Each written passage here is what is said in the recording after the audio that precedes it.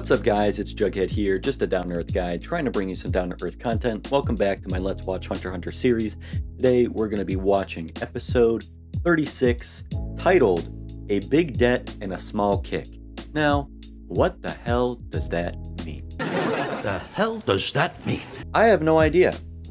A big debt, I can assume, is going to be the debt Hiso- Gon is trying to pay back to Hisoka, giving back that badge. Big debt. Small kick.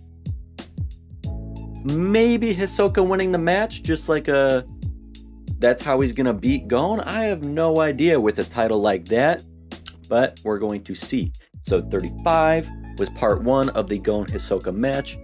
So 36 is where it all culminates and ends, and I've discussed last episode. My prediction is that Gon triumphed, was able to punch Hisoka in the face, return that badge, but Gon as a developing character is not going to beat Hisoka, nor should he beat Hisoka for proper character development. There's no way or that a 12 year old kid who just mastered Nen, not even mastered the basics of Nen, like over a few month time span, should be able to beat someone like Hisoka. There's no way. You have you have to have some you have to balance that triumph and that loss for there to be growth. So I want Gon to lose. Like Master Roshi said, there's always a bigger fish. He didn't want Goku to win in his very first uh, Budokai Tenkaichi because it would get to your head or it would fuck up your char- your your growth, your personal development. So let's not even keep talking in the intro. Let's just get into episode 36 and find out this big debt and this small kick. Let's go. So, Hunter Hunter, episode 36 A Big Debt and a Small Kick. In three, two, one. Let's watch, shall we? Middle of the match, part two. It all ends here. Hisoka is sultry. Schwing. He is turned on. I really didn't want to have to see that again. I was hoping to put that back in the recesses of my mind entirely. Let's see this right hook. Right here. Right here. That bruise right here. Yeah, he landed a solid punch on him. Will he be able to win the match? No. Ooh, critical hit. Hey, two, two to one. Two to one. Don't matter, though. Let's see how this all plays out. Just the tile missing. Wing is sweating because he knows Gon can get fucking seriously injured in a, or even die from facing Hisoka right now. Would Hisoka want to kill Gon though? I feel like is is Hisoka almost going to hold back his punches? Referee is entitled to award points as he pleases. Some referees award points based on the amount of damage done, while some base scores on strategy and technique. Yeah, it's pretty much just like every sport basketball, football, baseball. Yeah. Yeah, who the hell is this person? Is this the owner of Heaven's Arena? That was a aura if I if I ever seen one around him. Pretty boy. Like he just showed up out of nowhere. Are they just gonna walk up to each other and Gon's gonna be like, "Here you go," and then Hisoka's gonna be like, "The disrespect." Kapow! You know he's had that badge on him for ever since that episode 20 episodes ago. It's gonna be seen. is this gonna be my thumbnail right here?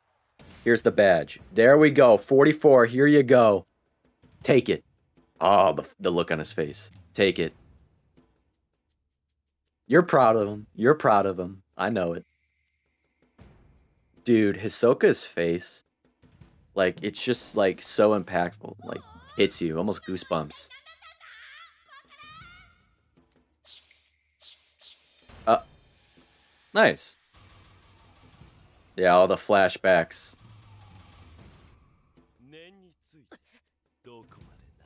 Uh-oh.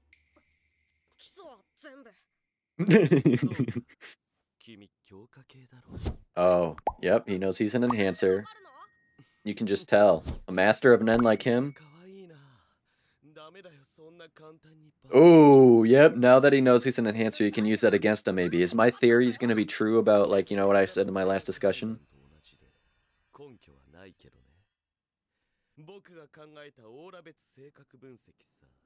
Yep. And answers are simple and earnest. This goes exactly into the thing I was talking about last episode. Holy shit.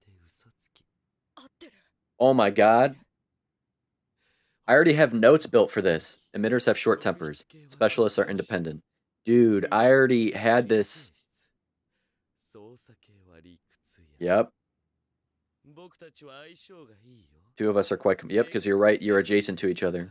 Our opposing personalities attract. Eh, hey, hey, hey. Calm down. Calm down. Transmuters are fickle, yep. Dude, I literally have this in my notes that I prepared beforehand. Mere second for treasure, turn the trash. What I mean by this is, I was talking to one of my viewers in the comments, uh, Christopher Rivera, and I was, or was it Christopher Rivera or another guy, that I was sharing my opinions about how personality affects your aura type, and that each person shares the same personality. Like, there's no coincidence that Hisoka and Killua are both transmuters, for example.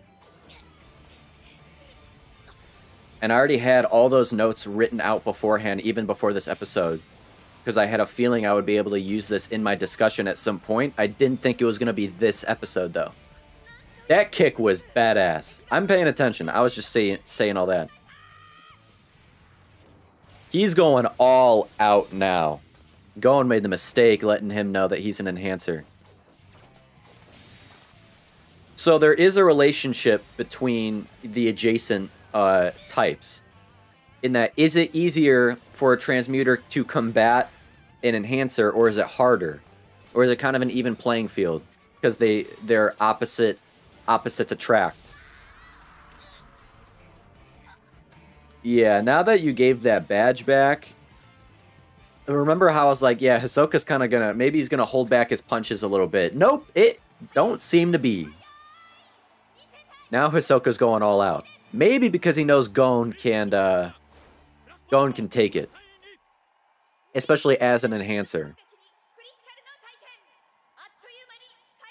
Three to two.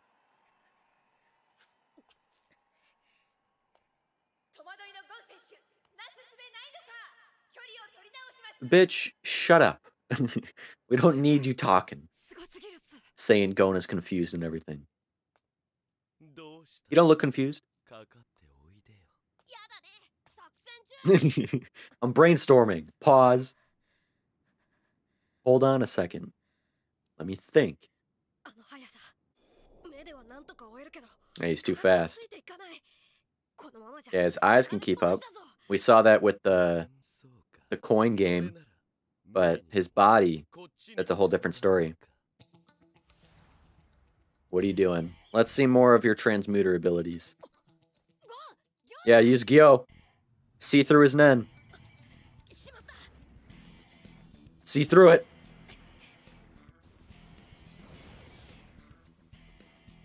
Ah, shit.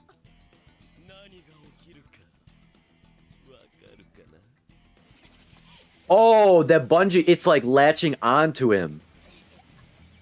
The properties of both rubber and gum, it's literally sticking to him. That's cool. Oh, dude, this is like violin music. Oh, shit. Is He's gonna kick him in the face. This is gonna be that small kick. Oh, shit. Oh, nope. A punch is coming. Dodge that bitch. Dodge it! Oh, shit. Oh, shit. Oh, shit. Oh man, oh man, what's gonna happen? What's about to happen? What's about to happen? Is he? Ah, damn. I thought I thought he was gonna pull something out of his back pocket, but nope. Elastic Love. Oh, Bungee Gum. I forgot he he called it both things. Expand and contract, and detach and detach as I desire. That's such an OP ability, dude. Like, bro.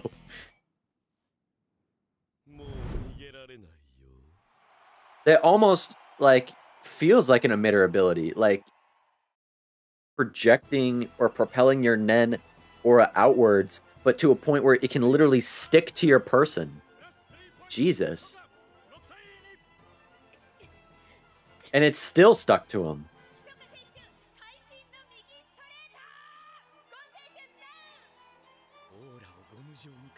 久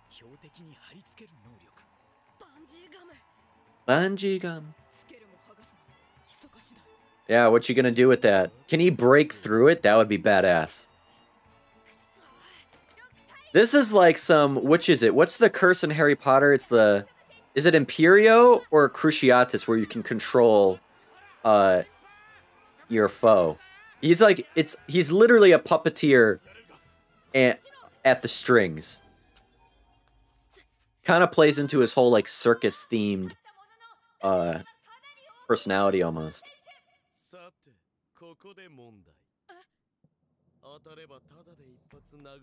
Uh oh.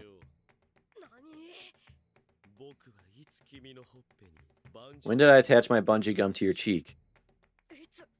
When he grabbed the badge. Dude, has it been ever present that entire time?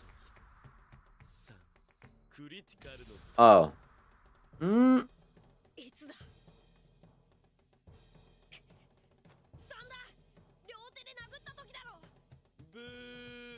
Damn. oh, well. Ah. Oh.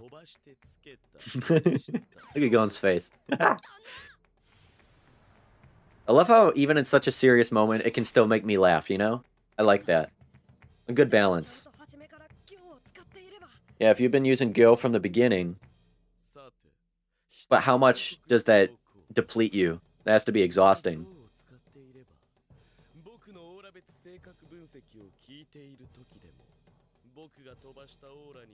Darn.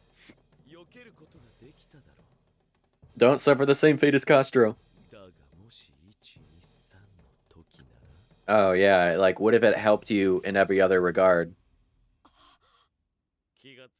You're damned if you do, damned if you don't. Yep. Fucked either way. True. He's teaching him in a way. I like that. Teaching in battle. He wants Gon to learn and be stronger. Or else he wouldn't be fucking sharing this information or like almost being a mentor. Not a mentor, almost. But you know, sharing such information that a master has learned, like let me bestow some let me hit you with some knowledge. Let me bestow some knowledge onto you. Like let's make this a more interesting fight or let me give you some stuff that you can walk away with that can make you stronger and hone in on your own enhancer abilities.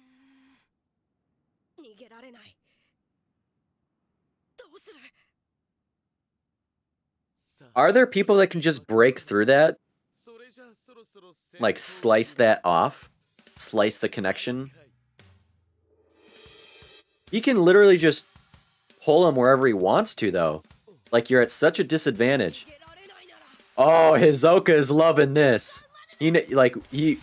What opponent in the past has actually been like, fuck it, you know, I'm coming to you.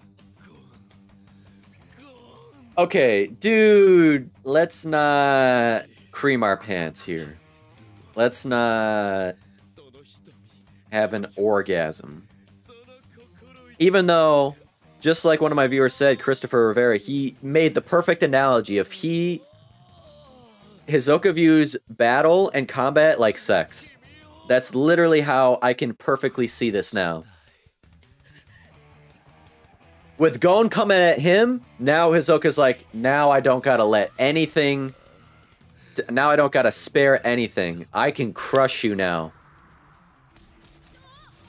He's a masochist just like Gon. He wants to. He wants all the. Yeah, hit me more. Until you, until I reach this state, like I'm the fucking Hulk.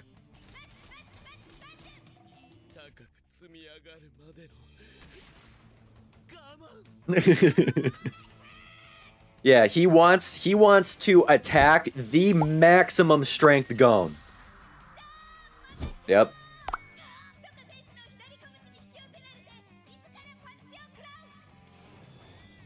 I know exactly what Hisoka's doing.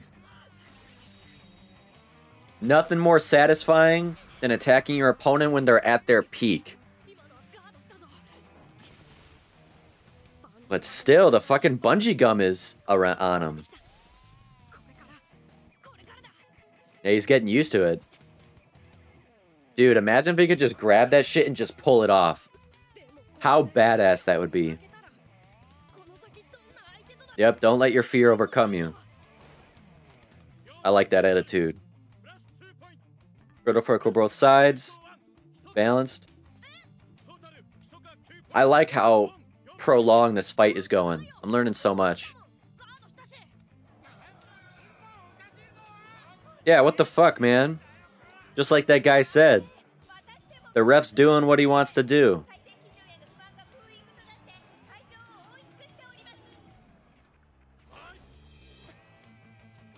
This guy is biased. Get him out of here. Oh, shit. Yeah. He doesn't even have to knock him down or anything. Just a clean hit. He's done so. Oh, shit. Oh, he's done. He's not experienced enough. He's still just a kid. He only knows the basics. It's over.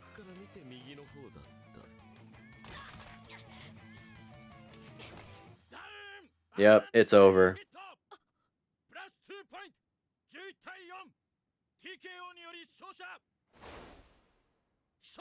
All over. Like I expected.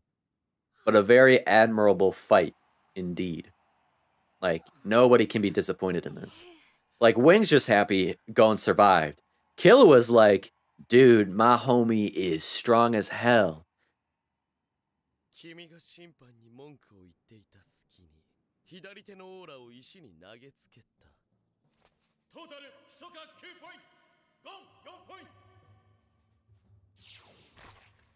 Damn. He can detach it completely from his own body and still be able to control it? Is that manipulator or something abilities that he, he's not as strong in, but he can still do it? Yeah, Gon, hey, you're officially a hunter now. And you literally went up against the strongest fighter you've you've seen. And you went up against him. Yeah, if we're in Heaven's Arena, you stand a chance. Out in the real world, ugh, whole different story. Dude, that's my thumbnail. Damn, that's cold. Shit. Yeah, lies on the line. Woo!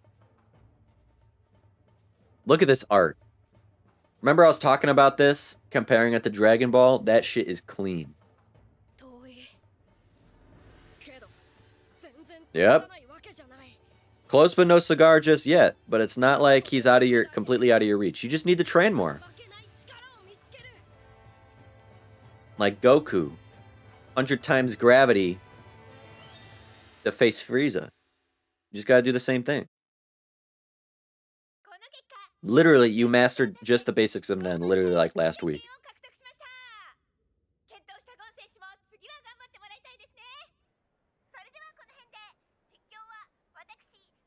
Yeah, they're done now. Like, what does go. Yeah, fuck you, man. Huh? Huh? Oh. Loser.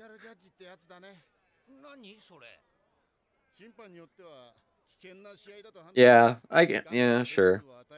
I'm comparing this to like basketball, football, and baseball. I need to be comparing to this U to UFC, MMA, and boxing because refs do the same thing. Never mind. Yeah, but Hisoka didn't win 10-0, dude. Yeah, they're parting ways. Gon and Killua have no reason to stay there.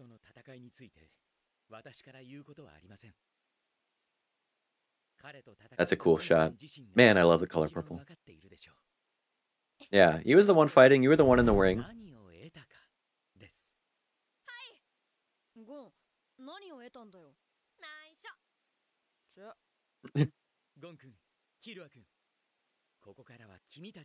yeah, now is the time to master your own styles. What kind of techniques are you going to be using? That'll be fun to see. Same. I'm glad we met this new character.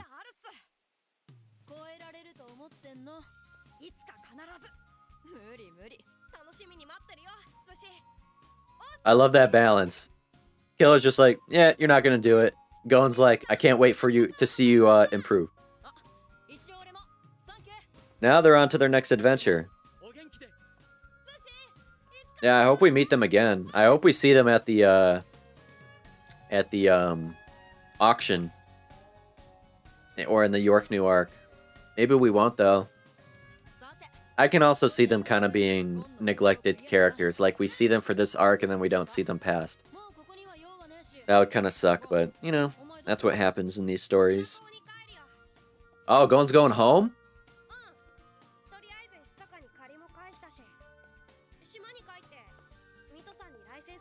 Yep. We kind of forget that Gon has his own family. And Killua can meet Gon's family and be welcomed into a no normal family. Yeah.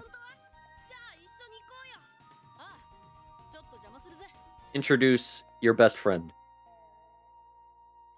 Bye bye Heaven's Arena. Are we officially done with this arc? Bye bye Heaven's Arena arc. We're we're moving on. Heavy metal music. You return the tagline to that punch as he promised. Now he can use his license. He met his goal.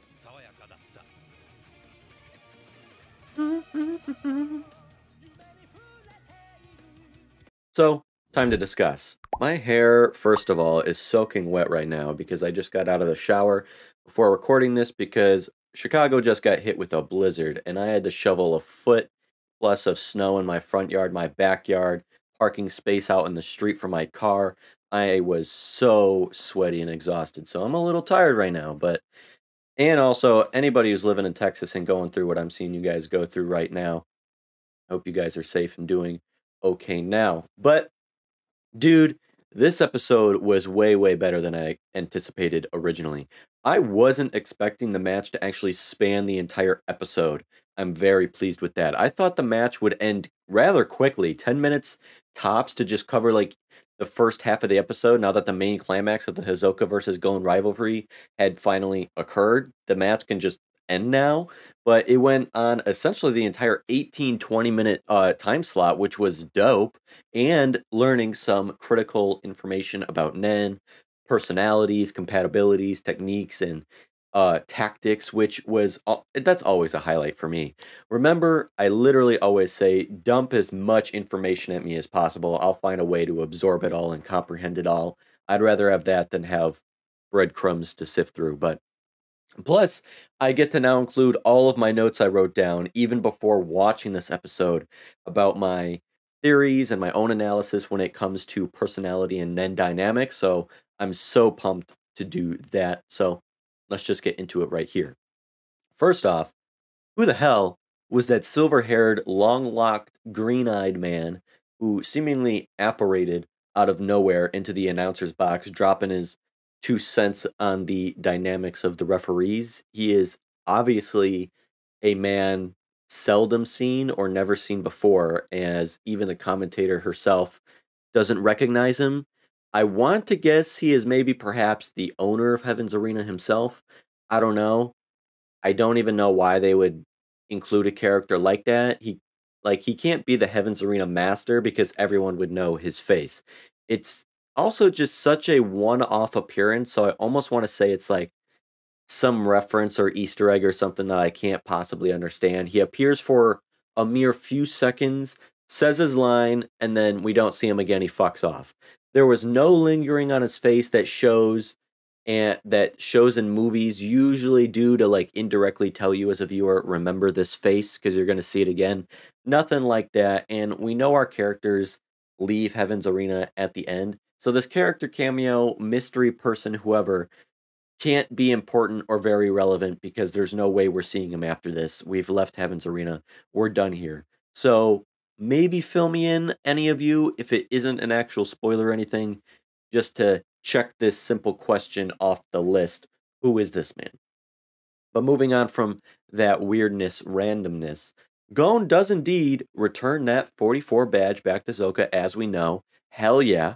Hisoka, not having moved a single step up until this point, you know, just casually walks straight into Gon's direction with that smile on his face, and Gon's just like, you know, I'll meet you halfway. No need to walk that far.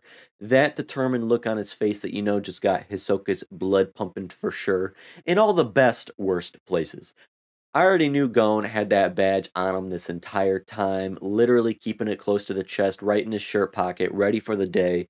I'm sure he never took it out of there. He knew, I got to have this ready for the day. It's coming. There's no if to him. It's just an inevitability. And today was the day. I also like how Hisoka just accepted it. Like, am I the only one who in this scene felt like Hisoka gained much respect out of Gon for this. Like I'm sure, like surely he remembered what he said and did to him back on Zevil Island.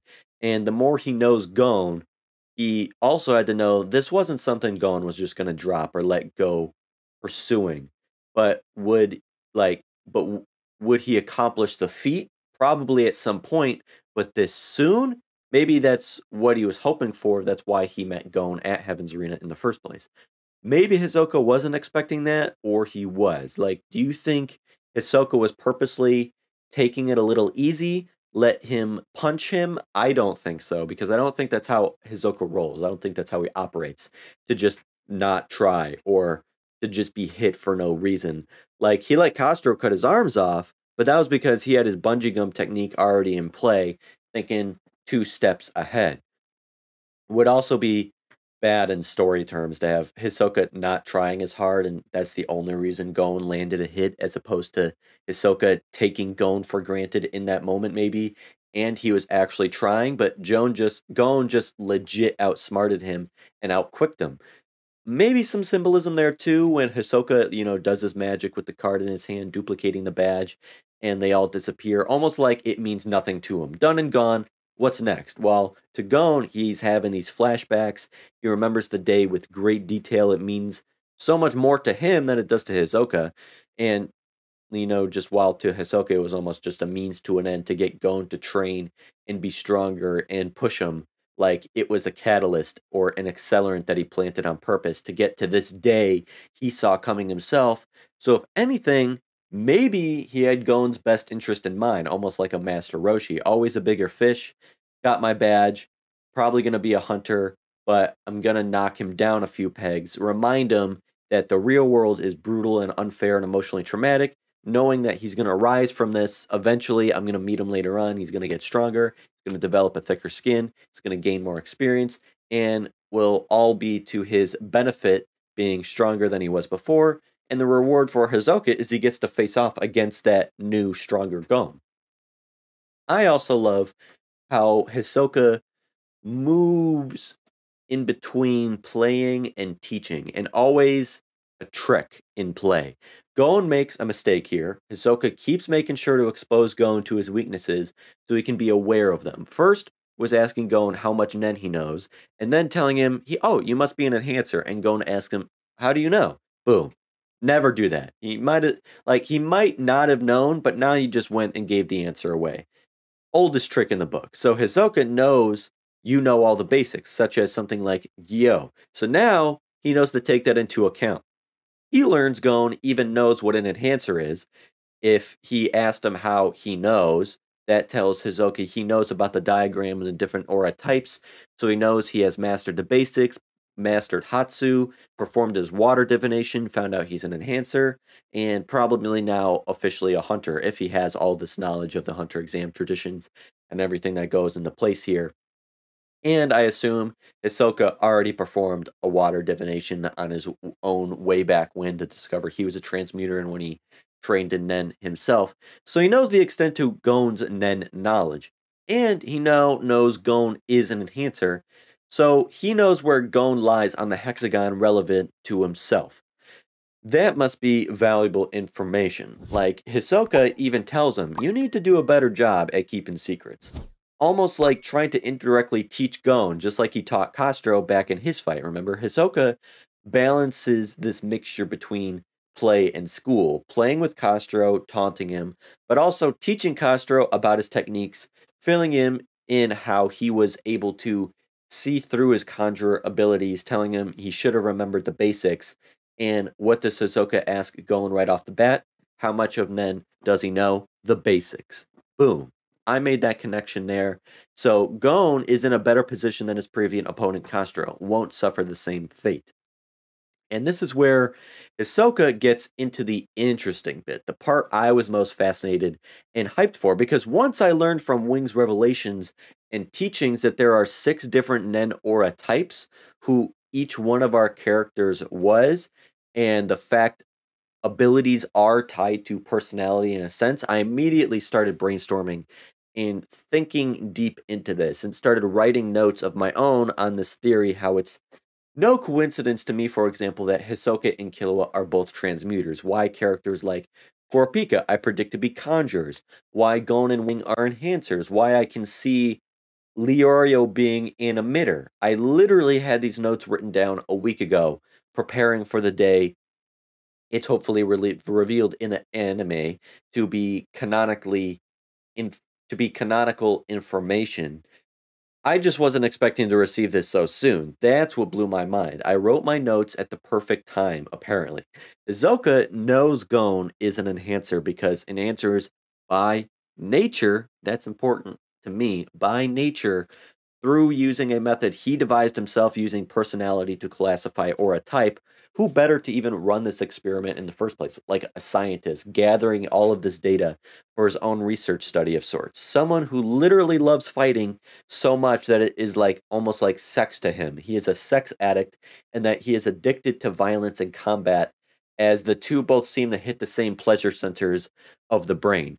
Who would be able to gather that much information to be able to devise an accurate enough assessment of Nen relative to personality why? Of course, the one who has probably fought hundreds, if not thousands, of opponents himself with a very analytical and observant mind who picks apart every inch of his opponent to find we- uh, weaknesses and identify strengths. The fighter of all fighters, it seems to me, the one who has developed an entire philosophy around combat and altercations. Hisoka knows what he's talking about. He's probably encountered hundreds of enhancers, and through that, he can confidently and accurately state enhancers are simple and earnest.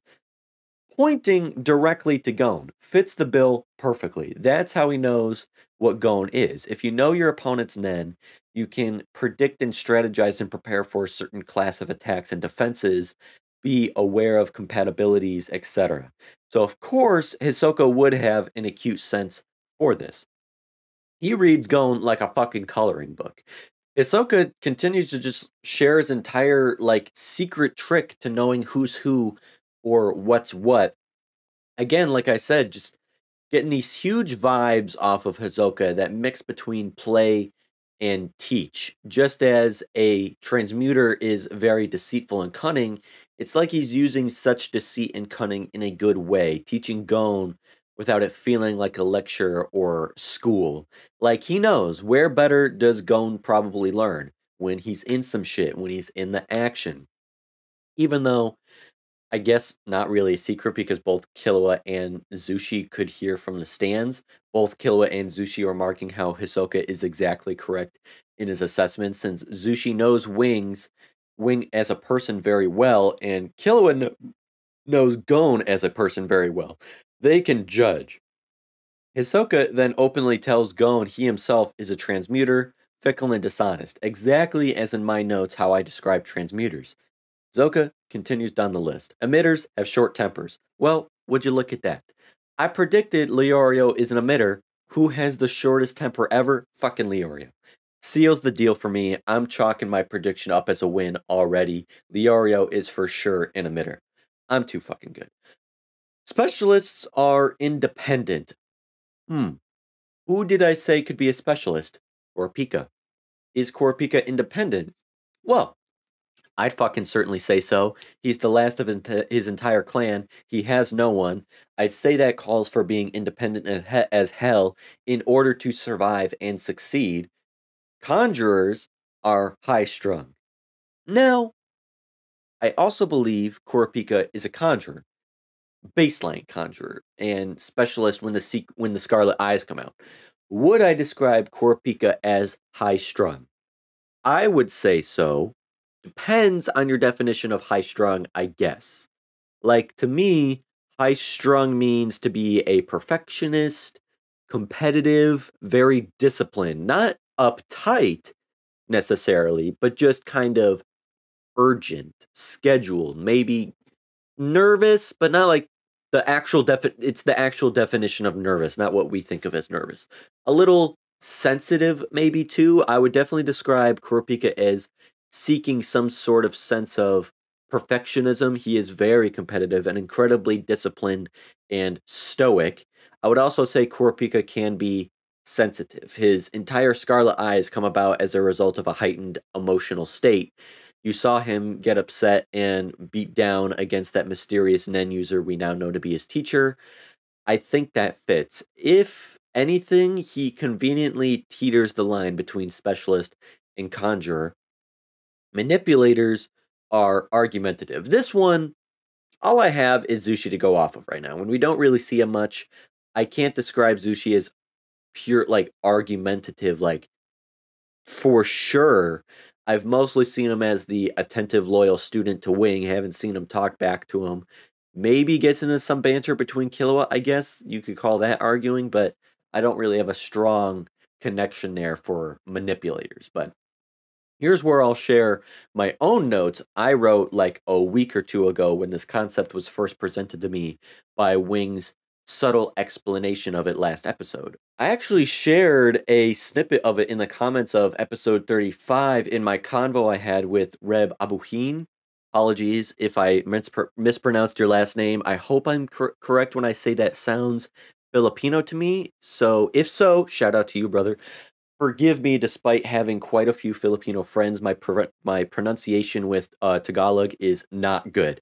But yeah, I was talking to him about it uh, in our convo, and I'll start with transmuters like I shared with him. To identify a transmuter to me, they can most likely be regarded as an outcast, a misfit, the odd one off, a weirdo, maybe a trickster, even both clever and cunning, but I'm sure one could find the irony in that they might often find themselves prone to their own devices, both the deceitful and the deceived. The trickster easily tricked, those most likely to put on a mask in order to hide their true selves, the most genuine essences that is their personality and being behind a well thought out and constru- uh, constructed facade. I'd guess even by those closest to them, if there are any of those that they even let close, their true feelings and or intentions are just as likely unknown if even if they don't adorn the mask. Therefore, I see transmuter abilities and techniques as highly unpredictable just as they themselves are and even more so unique because such techniques derive from and reflect the personality. Add Hisoka's fickle and dishonest, and I'm confident this is a perfect description of transmuters. This is exactly how I view Hisoka and Killua. I got my own device to tie personality to aura, so top that, Hisoka.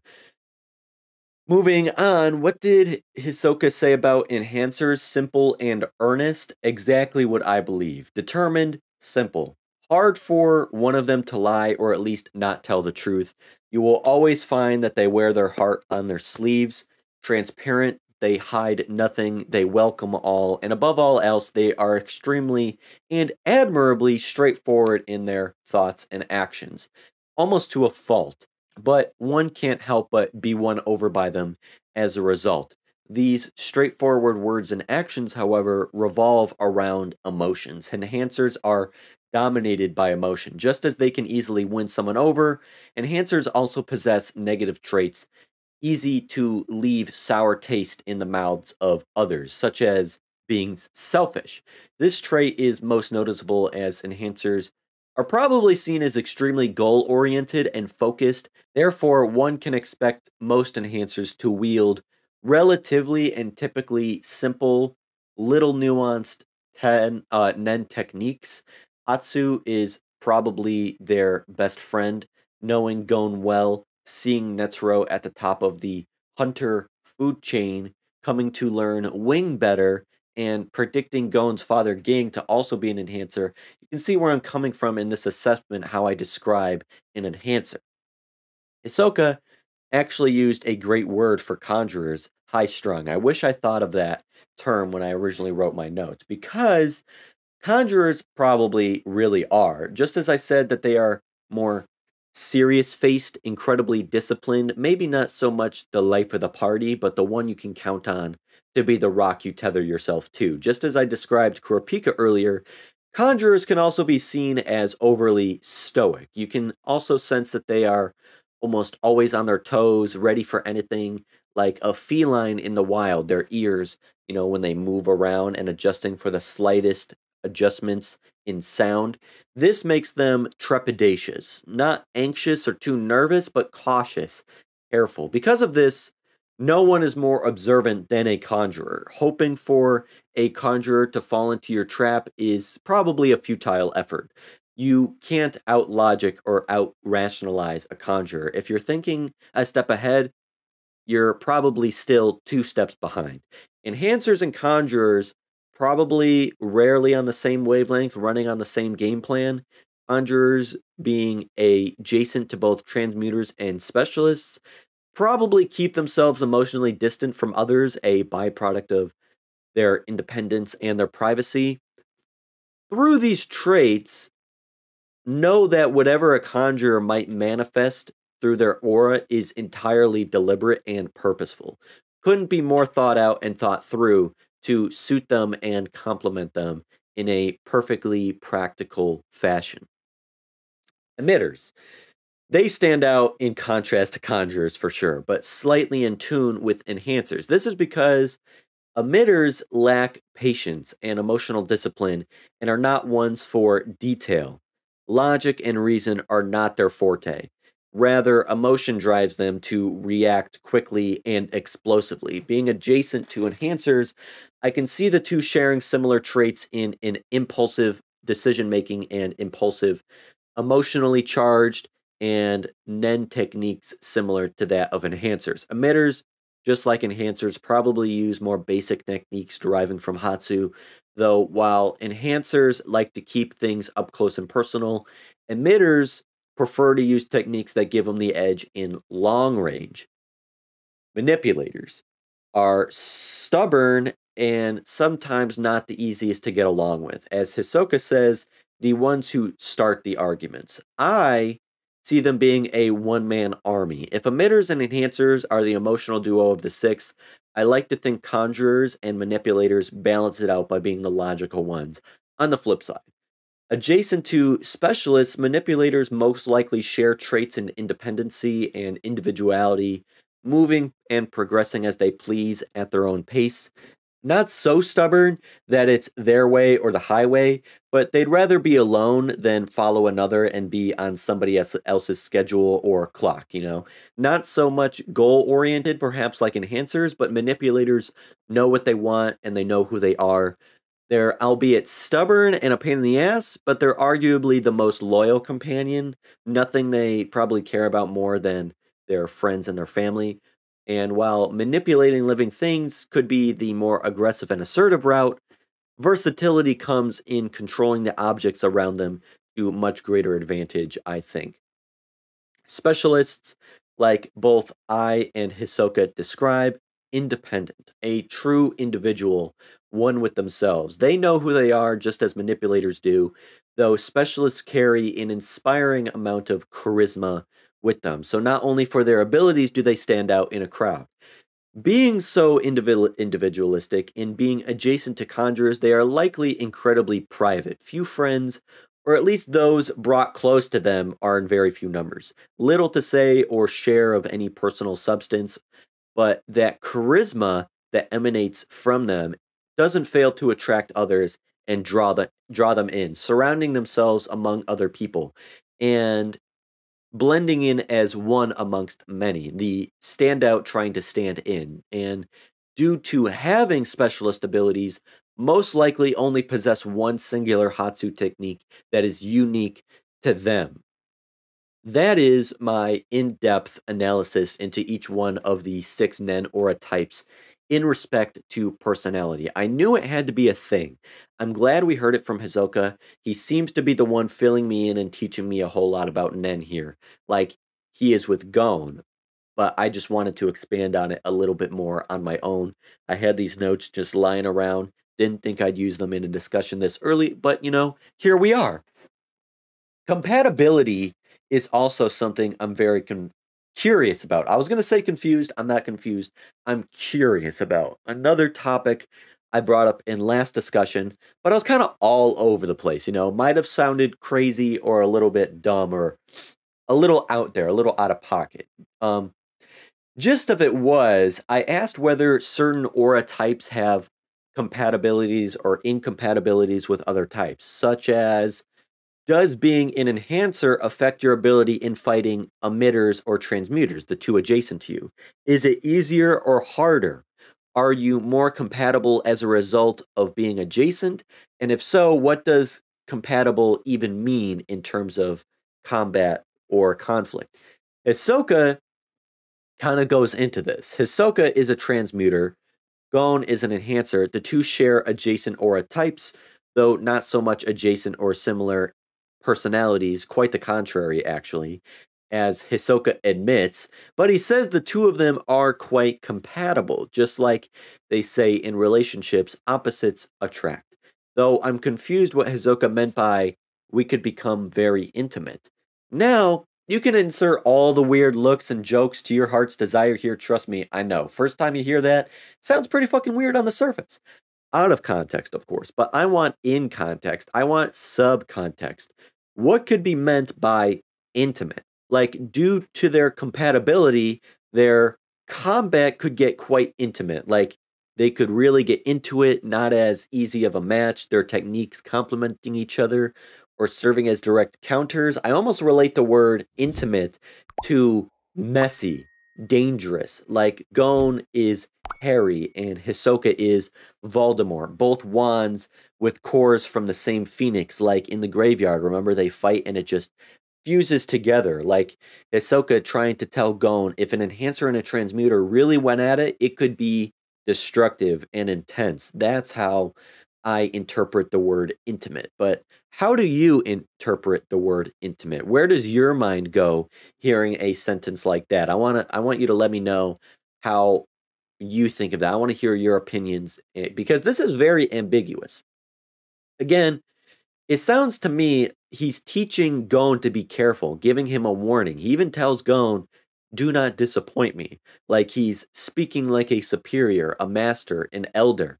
And he just looks like this fucking Goku Kaioken times 20, the magenta aura surrounding him. It was so fucking sick. And dude, I thought Gon picking up a tile above his head and throwing it at his opponents was impressive. And don't get me wrong, he's a 12 year old for crying out loud. It's impressive, all right, but Hisoka being so strong that one kick, the force from the kick, like the thrust and the gust and the force, lifted up an entire tile and sent it flying well past the edges of the ring and all the way past towards the entrance. Like, Jesus Christ, is that what that small kick in the title of the episode is supposed to mean? Like, bruh.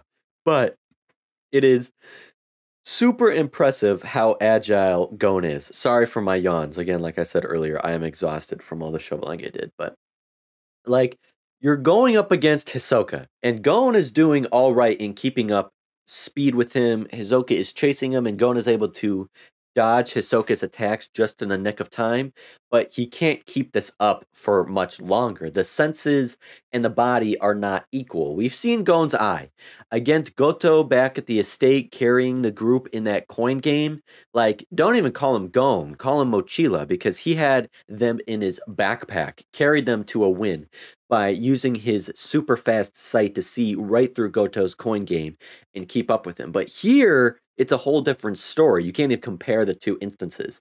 Even that super sense can barely keep up because the body is even slower. What you see with your eyes, your brain then has to process, has to react upon that information and send those signals through your nervous system to the rest of the body to actually move.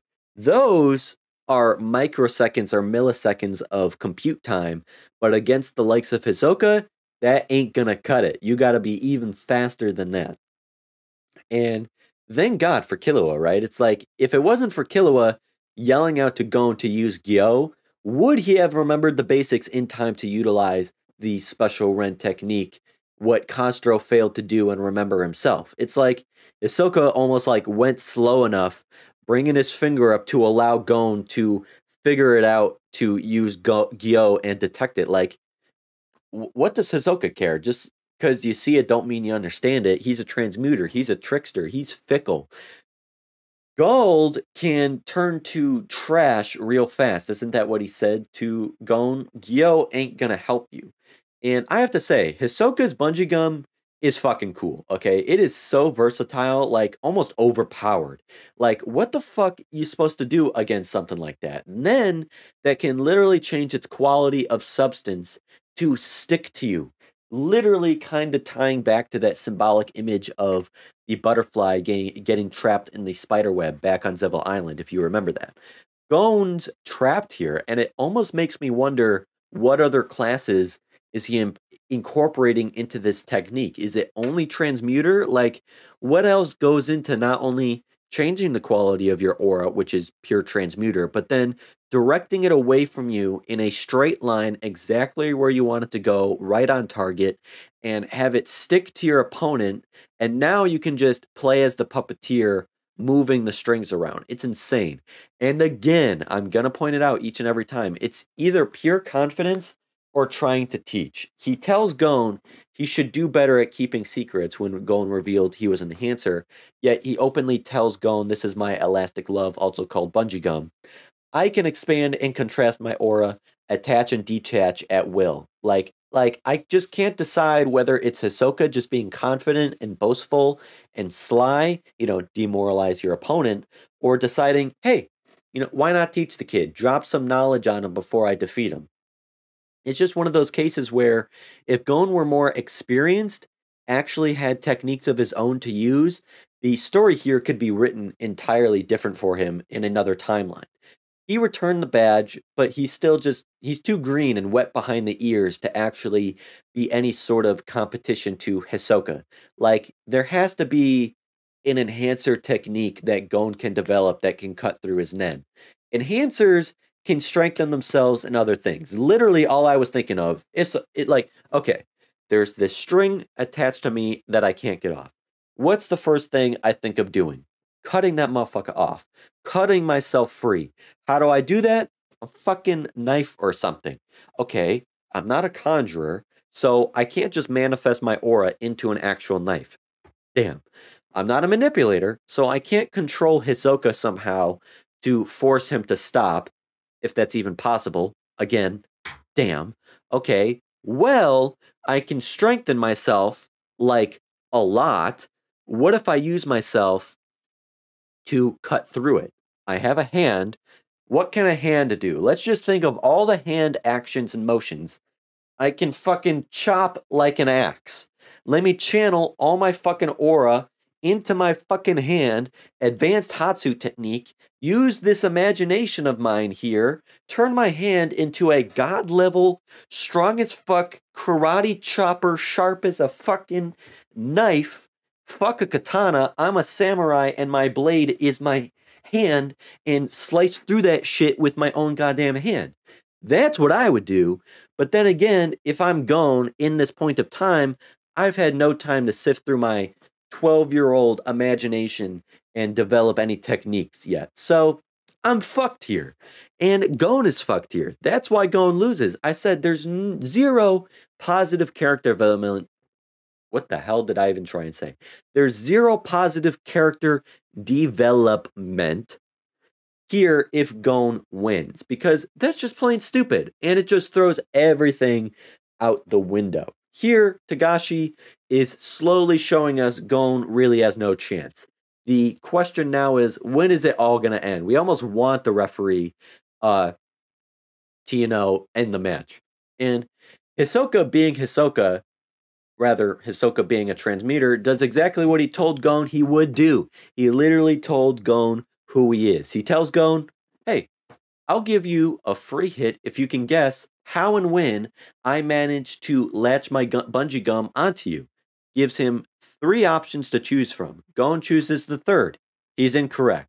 Turns out it was the fourth option when he was trying to when he was giving his aura personality analysis. Again, the mix between play and school. He taught Gon his analysis, one to both teach him but also to distract him. He's always playing to his own advantage. And what did Hisoka fucking say in that analysis? Transmuters are fickle and dishonest. He literally told you he's dishonest. And you get and you getting mad, he tricked you and played an unfair rigged game. You played yourself. He taught you. If you listen, you listen. If you don't, you don't. He taught you and then he played you. This combination is my favorite aspect of this episode. It's just done so well. Literally, when he pointed to Gon, calling him an enhancer and describing him, he was teaching him valuable inter- information, distracting him, but also he has this ulterior hidden motive. Isn't that exactly how I myself described a transmuter? Hisoka even played me too, just like Gon. See, like I see the world through Gon in a way. Like even Hisoka taught me by running back through his match with Castro, showing and explaining how he uses bungee gum, the pointing and directing. Even my dumbass didn't even equate it when I saw Hisoka point that at Gon that that would be him casting his bungee gum. Like I'm so dumb too. I was so unprepared. So Hisoka still keeps coming with the warnings and the teachings too. I love it. Just learning so much from it. Li- really puts in perspective how unbalanced this match is. Like he's beating Gon physically, but also mentally. Like you're so in control of this match that you're just sitting back and just telling your opponent everything, just filling them in on everything. Like the inevitability of Gon's defeat is for sure. Gon is upset he wasn't using his Gyo from the start, and Hisoka gives him a warning, almost like, hey, you know, don't beat yourself up for not using Gyo earlier. It wouldn't have done you any good, which it wouldn't have. Hisoka would know when Gyo- Gon was using Gyo and would have just instantly adapted to some other strategy. He presented the first three options in the original trivia question. Those three options would have been the three other ways Hisoka could have attached his bungee gum to Gon's face. And Gyo doesn't help you at all in the middle of an actual attack. Like Hisoka literally helped Gon realize all of his weak areas where he was most vulnerable by literally listing off the three easy places and moments he could have gotten him with the bungee gum. Like, oh, you think you played your defense well? Good. Well, here's three easy ass moments I could have easily attached my bungee gum to you, even if you were using Gyo. And it was even easier in the fourth moment teaching and playing, teaching in school, teaching and humbling, teaching and humiliating, all at the same damn time. It's literally just Hisoka presenting the case to Gon. You're damned if you do, damned if you don't.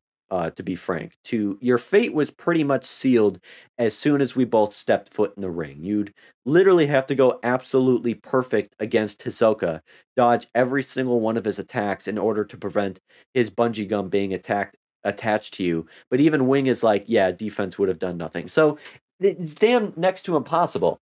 And re- not damn next to impossible, it damn is impossible for someone like Gon. But I really love this sequence that came next. Hisoka thinks with all of this talk, all this doubt, he he thinks he sits in his opponent's mind, breaks them from the inside out like he did with Castro, who kind of just had a meltdown and died pathetically. He thought the same would happen here, but no, Gon, we fucking love this kid, says, fuck it, defending doesn't do anything. I can't dodge everything. What's something no one else would do and Hisoka would expect the least? Oh, yeah. Fucking charging him head on, ready to beat his ass. And Gon has that pissed off look on his face, determined, out to hurt, out to deal some pain, out to draw some blood, out to serve some good old tasty knuckle sandwiches. And you see Hisoka's face of shock, like a face either telling us that Hisoka wasn't expecting or prepared for that at all, or just like pleasantly taken aback, like, oh my god, I can't believe what I'm seeing, my fantasy, my dream come true. Like Hisoka is having a wet dream while fully awake. Again, gets a little weird, pure orgasm noises, but at least this is inside the context of combat, and I can understand it better here. Hisoka is literally like Heath Ledger's Joker. He wants to see this side out of Batman. Like, remember those two scenes one in the interrogation room, how much he enjoyed Batman beating the shit out of him, compromising his morals and his ethics and his standards. And two, remember on the street when Batman's coming straight toward him on his bat pod, bat blade, bat cycle, whatever the hell you want to call it.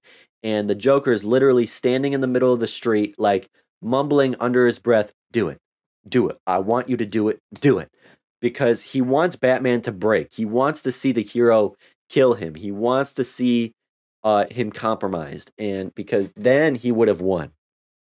Right here, this is exactly what Hisoka wants out of Gon. He wants Gon to come at him with everything he's got. He wants to witness his opponent's maximum potential, his peak strength, peak agility, peak endurance. He wants Gon no holds barred, no holding back. He's both turned on by it, but also in a way proud to see that spirit out of Gon, that look on his face. Like in terms of combat, it's like seeing your kid ride a bike for the first time, no training wheels, or swimming, or a coach seeing his player score his first ever points in a game. I don't really know a good analogy here to describe what in my mind makes sense to me. Like he just literally loves and lusts to see a fighter reach this state, absent of hesitation and you just commit to see Gon out to draw blood as much as he is here. And he lusts for it because now he gets to build up too. He gets to literally release himself, set free, no inhibitions it's literally like the lust and passion that comes from say like the girl or guy you like you or you got the hots for making the first move on you and taking charge being the dominant one and you're building up all this lust and elation and excitement and then boom now it's your turn. Now now it's action. That's what this is here. Gon making the first move being the dominant one Hisoka taking all the punches he's a masochist just like Gon, the pain fuels him. It drives him. It propels him. That's how I see it. He wants to take punch after punch after punch because he's converting that into fuel to explode on him. It's like the law of conservation of energy. All that energy being expelled by Gon is being reabsorbed by Hisoka. It's like an exothermic endothermic reaction. Build it up, build it up, build it up the angrier and more fierce Gon gets with every punch brings Hisoka to a higher and higher level of just pure ecstasy until Hisoka can literally not contain himself anymore to hold back. The pressure is too great for the confinements of his body and just destroy Gon in return. Nothing would be more satisfying for him than ruining Gon and defeating him and landing that hit on him when Gon is at his peak state. And so he does. Hisoka, again, with this mentorship attitude, he says, Gon, you must be more vigilant. Like exactly what someone like Wing would tell him. And he tells Gon to look to his right, and out of fucking nowhere, a huge piece of rubble gets hurled right to Gon's face. And Hisoka's just like, oh, I meant my right. And that that just counts as the final hit, and Hisoka wins. Gon didn't even notice Hisoka attached the other end of the bungee gum on his face to a piece of rubble. Had he not been so distracted and off his guard by needlessly and pointlessly arguing, debating with the ref, he would have seen it with his Gyo, literally just like telling Gon, kid, you have to pay attention. You need to practice your discipline and your focus. You took your eyes off the prize. Like it's all getting the better of you. You literally just lost due to your own faults. You know what I am. You know my personality. You know I'd lie and deceive and trick you. All that, along with making stupid rookie little kid mistakes, is of course going to cost you the match against someone like me. And that's essentially what happened here. That bungee gum move, though, kind of confusing. How the hell is he able to detach his aura completely from himself? It's still attached to Gon, but he can move that shit around in free space and have the other end that was previously attached to his finger attached to that piece of rubber uh, rubble. Is he literally utilizing manipulator techniques, even though they're very hard to learn with his class? That just didn't make much sense to me. But yeah, regardless, it just like shocks Gon that in that instant the match was over right then and there. No climactic event, no triumph from him, no disastrous defeat even, no roar of the crowd. Just Hisoka walking off stage like it was any other fight for him and Gon standing there shocked like he really just let that match end like that in that sort of defeat with one point he knew he had to prevent but he let it happen anyways and that sucks but i think it means a lot for hisoka to tell him he has made incredible progress. It's just that he lacks experience. 10 more fights and he could have stood a chance but hisoka will not fight him again here and who knows how things go out in the real world. And i love how gon in just a matter of seconds goes from melancholy and despair back to his true self, telling himself, yeah, Soka is so far away from me in terms of skill, but he ain't out of reach. He needs more experience, and more importantly, he needs to develop his own techniques, find himself, hone in on those skill sets, and death come up with something that can fucking cut through bungee gum. Like, like, god damn it, that needs to be priority number one. Make your hand a goddamn butcher knife of aura, okay? But like I said, the dynamic with Hisoka was the best part of this episode. I truly think he wants the best for Gon. Now that his fruit is ripe, he wants to harvest it well. It's not like a responsibility of his to guide Gon well, but just something he wants to genuinely do. He's compelled to do that. I really think Hisoka during this match was trying to teach Gon, fill him in on some basic lessons and guidance so that he can come out of this more aware like one reason, he's one of his friends he wants to recruit to take down the Phantom Troop, no doubt, or some sort of involvement there. Fight with him or alongside him instead of against him. So why wouldn't you want him to be stronger and better prepared and skilled, especially when you know you're a part of the Phantom Troop. You know who the members are. You know who you all are going to have to be going up against. Secondly, Hisoka knew he would win the match. It's like he just decided, you know, before we part ways, since I'll be going on to challenge a floor master and probably taking part in the Battle Olympia, you have no reason now to stay here because you fulfilled your goal and promised yourself giving me back my badge. We won't see each other for some time. Before we part after this, why not at least drop some knowledge and teach you a bit? And that's exactly the case. We're done with Heaven's Arena. Gon and Killua accomplished what they came here to do and are leaving having gained so much more than they expected. They came to Heaven's Arena just to become stronger any way they can. Not only did they become physically stronger, but they learned fucking Nen from a Nen master, also a hunter, who was Gon's secret teacher this entire time. Killua learned the source of his brother's powers. They came to the arena to get Gon stronger to be able to fight Hisoka. Turns out Hisoka was here the entire time, so they are able to kill two birds with one stone. Gon returned the badge, so what's there left to do here? Hisoka refuses to fight Gon here again, only out in the real world with no rules or restrictions or lights or cameras or audiences. Gon is literally a hunter now, too. Time for a new adventure. Moving on. Also, in hindsight, I didn't like the referee during the match. When now I can understand.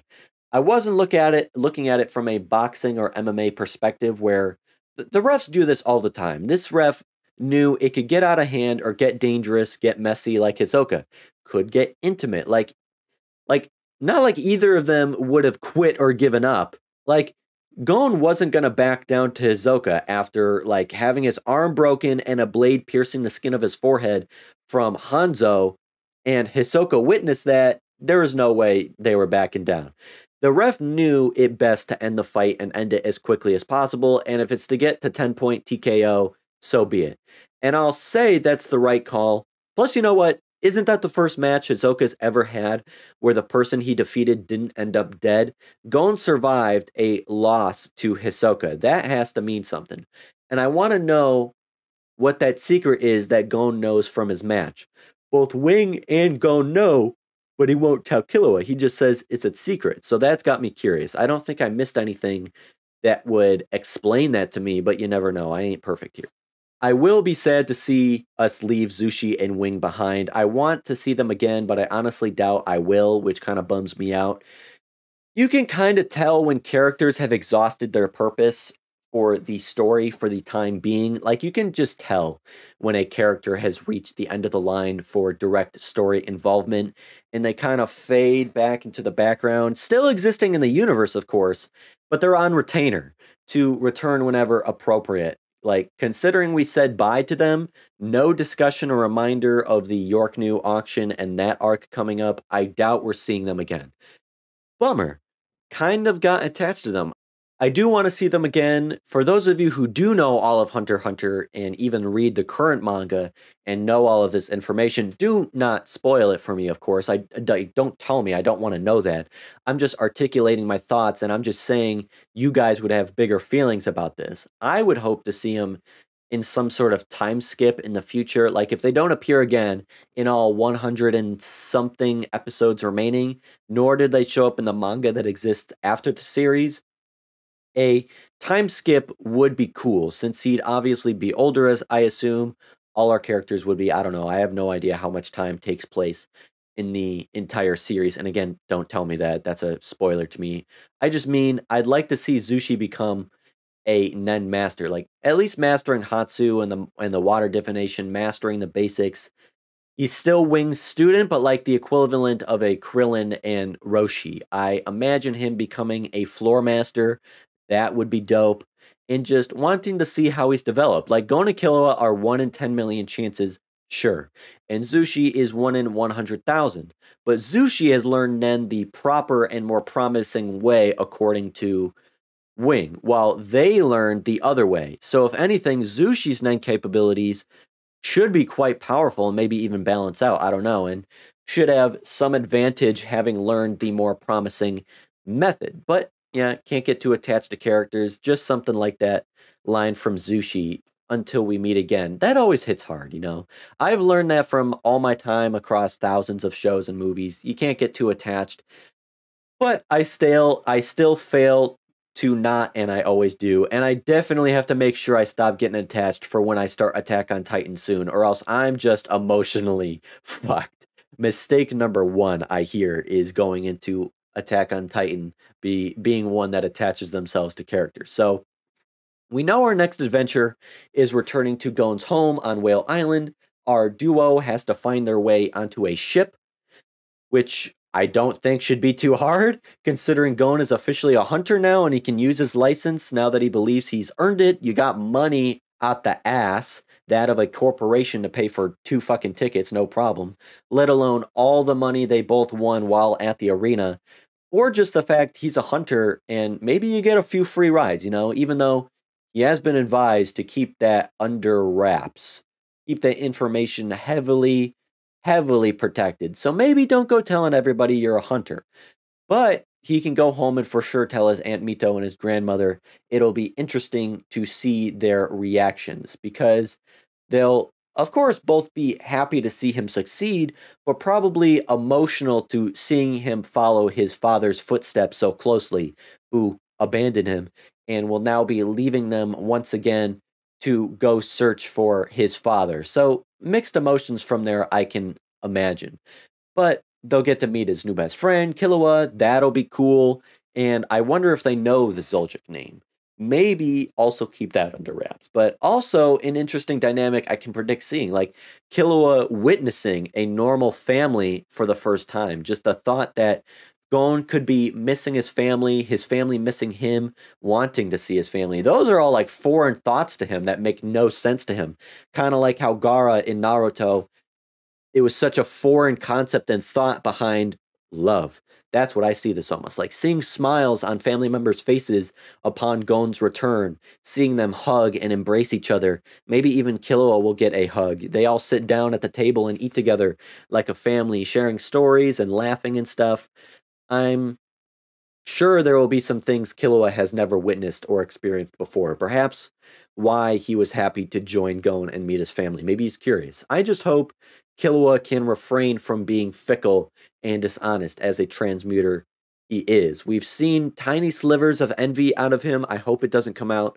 I know it probably will at some point. You have to fulfill that prophecy somehow from his father Silva to make all of that make sense, but fingers crossed. But you know what's crazy? I've discussed so much here, yet I'm bothered because I can't help but feel like I'm leaving stuff out. There's like there's just there's subtle things on the tip of my tongue I remembered or I've just thought of that I wanted to bring up and include, and I just can't seem to recall them now, and it's pissing me off. I can't even tell if I do indeed have any else anything else to add, or if I'm actually crazy. Like,